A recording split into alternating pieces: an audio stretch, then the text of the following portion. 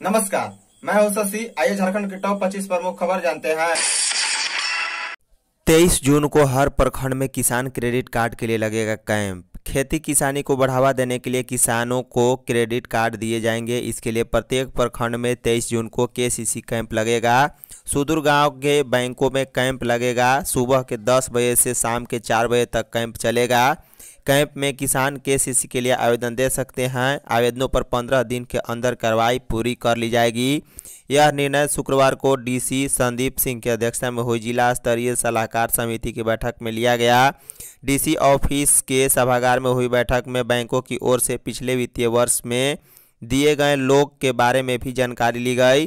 पाँच बैंक शाखाओं, Punjab national bank की गोविंदपुर, टुंडी व ओंझाडी तथा एसबीआई पोखरिया व महुदा शाखा में सरकारी योजनाओं में लोन देने में कोताही बरतने पर प्रबंधकों को चेतावनी भी दी गई है।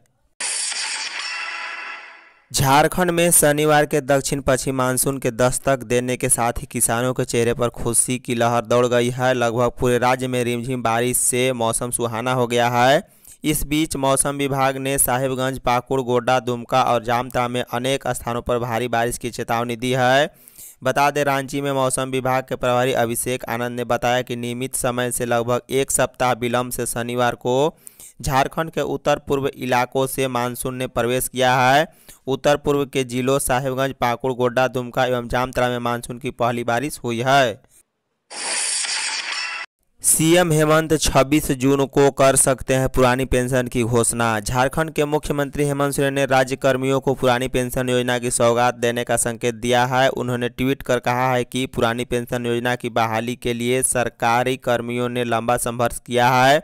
अब वादा निभाने का समय आ गया है। सूत्रों ने बताया है कि 21 जून को कैबिनेट की बैठक में इसको स्वीकृति मिलने की संभावना है। 26 जून को national movement for old pension scheme Jharkhand में रांची के बिरसा मुंडा फुटबॉल स्टेडियम में पेंशन जय घोष महासम्मेलन का आयोजन किया है। इसमें झारखंड के सीएम मुख्य अतिथि होंगे। इसमें पचास हज़ार कर्मियों के जुटने की संभावना है। संभावना है कि 26 जून को ही मुख्यमंत्री ओल्ड पेंशन स्कीम लागू होगी। झारखंड के पंद्रह हज़ार कृषक मित्र हड़ताल पर गए। झारखंड के कृषक मित्र मानदेय की मांग को लेकर हड़ताल पर चले गए हैं। कृषक मित्र एसोसिएशन के प्रदेश अध्यक्ष शशि कुमार भगत ने कहा है, जब तक सरकार हमारी मानदेय की मांगे को पूरा नहीं करती है, तब तक कृषक मित्र के समेत सभी कृषि कार्यों से दूर बनाएँगे। शशि कुमार भगत ने कहा कि मुख्यमंत्री हेमंत सोरेन ने कहा था कि पारा शिक्षक के बाद कृषक मित्रों की बारी है, लेकिन अब तक ऐसा होता दिख नहीं रहा। जब तक राज्य सरकार हम कृषक मित्रों का मानदेय लागू नहीं करती, राज्य के लगभग पंद्रह हज़ार कृषक मित्र हड़ताल पर रहेंगे। सोमवार को होगी कुलपतियों की नियुक्ति। झारखंड के पाँच विश्वविद्यालय में कुलपतियों की नियुक्ति सोमवार को हो सकती है। राज्यपाल सह कुलाधिपति रमेश बैस नियुक्ति से पहले मुख्यमंत्री हेमंत सोरेन के साथ विमर्श करेंगे। सोमवार को राजभवन में उनकी मुख्यमंत्री के साथ विमर्श हो सकता है। हालाँकि राजभवन ने पूर्व में ही मुख्यमंत्री हेमंत सोरेन को बुलाया था, लेकिन मुख्यमंत्री किसी कारण नहीं जा सके थे। बताया जाता है कि उन्होंने सोमवार को राजभवन जाने की बात कही है। झारखंड में ऑनलाइन पढ़ाई की तैयारी। सरकारी स्कूलों के शिक्षकों व बच्चों को डिजिटल शैक्षणिक सामग्री उपलब्ध कराने की तैयारी है। राज्य सरकार इसके लिए एजेंसी हायर करेगी, जो पाँच साल न केवल डिजिटल शैक्षणिक सामग्री तैयार करेगी बल्कि पाँच साल तक उसका रख रखाव और प्रबंधन भी करेगी। यह agency content and learning management system भी तैयार करेगी, जिसके माध्यम से बच्चों के शैक्षणिक विकास का आकलन ऑनलाइन हो सकेगा। झारखंड शिक्षा परियोजना परिषद ने इसे लेकर एजेंसी के चयन की प्रक्रिया भी शुरू कर दी है।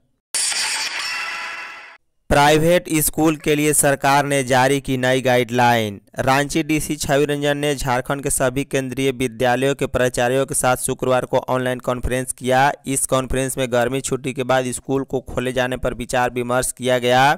इस कॉन्फ्रेंस में डीसी ने सभी को आने वाले समय के लिए गाइडलाइन जारी किया है। इस कॉन्फ्रेंस के बाद केंद्रीय विद्यालयों को अपने रूल रेगुलेशन के आधार पर खोलने के निर्णय को सभी की सहमति से पारित किया गया। वहीं दूसरी ओर शहर के वर्तमान हालात को देखते हुए सभी निजी स्कूल प्रबंधकों ने भी अपने अपने स्कूलों में आपात बैठक कर स्कूल खोले जाने को लेकर चर्चा की। गुटखा पान मसाला पर सरकार का बड़ा फैसला। झारखंड में पान मसाला के 11 ब्रांडों पर प्रतिबंध लगाया गया है। शुक्रवार को मुख्यमंत्री हेमंत सोरेन की अगुवाई वाली सरकार ने बड़ा फैसला लेते हुए इन सभी पान मसाला ब्रांडों को एक साल के लिए और प्रतिबंध कर दिया है। झारखंड सरकार ने 11 ब्रांड के पान मसाला पर प्रतिबंध एक साल के लिए और बढ़ा दिया है। विभिन्न जिलों से प्राप्त इकतालीस पान मसाला के नमूनों की जाँच में हानिकारक मैग्नीशियम कार्बोनेट पाए गए थे, जिसके बाद 8 मई 2020 को राज्य में इसकी बिक्री पर एक साल के लिए रोक लगा दी गई थी। पिछले साल भी इस प्रतिबंध को एक साल के लिए विस्तार दिया गया था। अग्निपथ भर्ती योजना का रांची में विरोध। अग्निपथ भर्ती योजना का विरोध देश के साथ साथ झारखंड में भी शुरू हो गया है। झारखंड के अलग अलग जिलों में युवाओं के द्वारा विरोध प्रदर्शन शुरू हो गया है। राजधानी रांची में शनिवार को राजभवन के पास 200 से अधिक युवा पहुँचे और विरोध प्रदर्शन करने लगे। युवाओं का कहना है कि सरकार का यह फैसला गलत है। इससे युवाओं की भविष्य खराब हो जाएगी।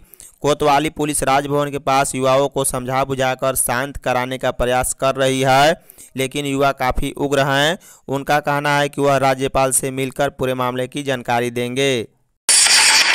झारखंड में कोरोना पकड़ने लगा रफ्तार। रांची में कोरोना जाँच की रफ्तार काफ़ी धीमी है, पर पॉजिटिविटी दर बढ़ गई है। पिछले सात दिनों में रांची के पॉजिटिविटी दर लगभग पाँच है मतलब हर सौ सैंपल की जाँच में पाँच कोरोना संक्रमित मिल रहे हैं।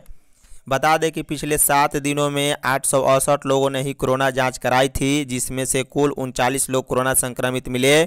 पिछले सात दिनों में सिर्फ़ एक दिन ही 200 से अधिक सैंपल की जाँच की गई थी। अन्य छः दिन में सबसे अधिक 155 सैंपल की जाँच की गई है। धन्यवाद।